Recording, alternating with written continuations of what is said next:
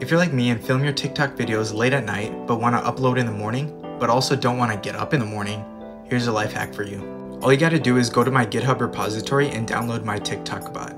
I'll link the repo down in the description. Next thing you want to do is verify that you have Python 3 on your computer and make sure you have all these packages installed.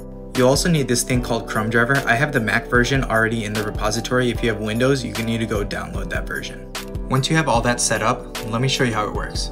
First thing I suggest you do is run python 3 main.py-h to get an idea of what arguments you need.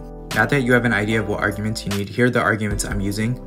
Private, my video path, my date time in this format, as well as my caption. Now let's run it. First thing you need to do is log in. Once you're logged in, it'll automatically start uploading your video, fill in your caption, and set up your privacy. Then once it's your time, it'll upload your video. Thanks, that's all I got. Like and comment for what you want to see next.